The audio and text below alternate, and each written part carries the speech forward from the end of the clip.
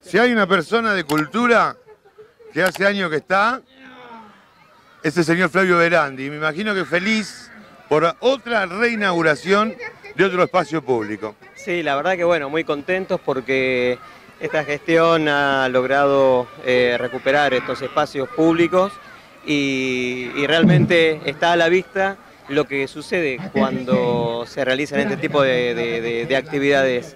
¿No? La gente copa la plaza, están todas las familias disfrutando, eh, con Hay espectáculos, espectáculos. hay espectáculos, así que realmente muy contentos y bueno, y agradecido por esta, por esta posibilidad. Recién me decía eh, la subsecretaria de Cultura, me dice, gracias al equipo de trabajo que tengo. Así que usted es parte de ese equipo, así que eh, tiene que estar orgulloso. Cuando las cosas salen y que la gente lo ve, eh, se siente orgullo, ¿no? Sí, pero, pero además eh, no únicamente un equipo de, de cultura, sino que de to- distintas Sí, áreas bueno. del municipio participaron de esta puesta a punto de esta plaza, como fue también de la Plaza Belgrano, como va a ser la 14 de abril, las demás plazas en los distintos barrios de la ciudad. 14 de abril la del cementerio, ¿no? La del cementerio, así que, que también va a haber espectáculos ahí, así que bueno, realmente, y gracias a ustedes por estar acompañando No, esta, por favor.